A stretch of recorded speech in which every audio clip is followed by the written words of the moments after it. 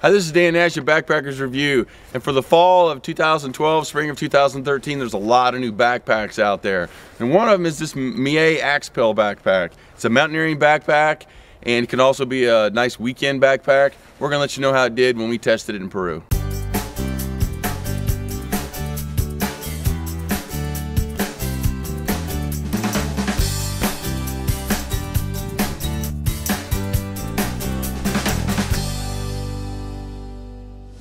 This is the Millet Axpel 48 backpack.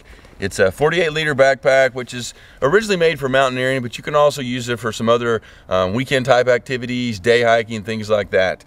Some of the features on it, number one, it's got a really large lid in the top.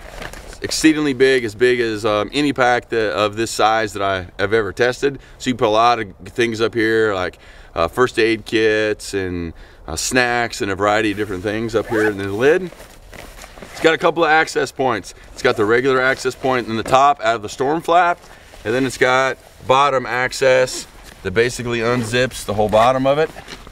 And then inside there's a zipper compartment where you can actually have one big zipper or you can have a sleeping bag compartment and you can separate it up down here um, with this little divider. It's also got storage on the hip belts with zippered hip belt pockets, which I always like. Um, again, to store a small camera, lots of little small things on the hip belt, easy access to. And then it's got really deep, meshy stretch pockets on the side that are great for one liter water bottles or for whatever else you want to put in here. Um, they stretch, they're really deep, they'll swallow up a one liter bottle um, very easily, and they're a little bit taller, more are taller than most uh, regular backpacks and the reason for that is so that if you're wearing a harness mountaineering and things um, they're not going to be in your way. The bottle's going to be up just a little bit higher um, won't get in the way of your harness accessing gear off of your harness and things like that. It's got um, points back here to hold um, ice tools. If you're mountaineering again it's got um, points on the bottom to store uh, tents or uh, sleeping um, pads things of that nature on the bottom. And then when you flip it around You'll see it's got a nice um, shoulder strap, sternum strap compartment, um, padded but not overly padded to help keep the weight down. But the big seller of this pack and the best thing about this pack is the hip belt. You can see that it's mesh, so it's a lightweight hip belt, but yet there's also a nice good padding here.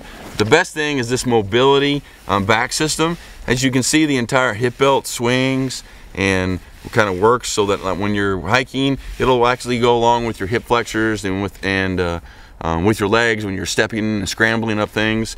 Um, there's other backpacks out on the market that have similar type of systems. Uh, the difference between this pack and those packs is that this is much higher. Usually um, the pivoting point is down here low, so it's like on um, the, the um, basically the the back of your um, tailbone, and this one is actually up higher, so it's up more like your lumbar. And actually, I think you get a lot more mobility out of this because of that. So of all the packs I've tested, three or four different packs with the um, hip belt system that swivels or moves around, this is um, probably the most mobile of any of those packs that I've tested. So even though it's lightweight, it's still tough. Um, we tested it in Peru on a couple of uh, 19 and 20,000 foot peaks. The pack did really well. It's durable, it's tough. So if you're looking definitely for a light mountaineering pack, 48 liters, um, perfect little summit pack. Or if you're looking for a pack just for a weekend outing, um, light weekend hiking, maybe a bigger day hiking pack, definitely want to check out this uh, Millet Axpel pack. It's not just a mountaineering pack, you can use it for a variety of functions.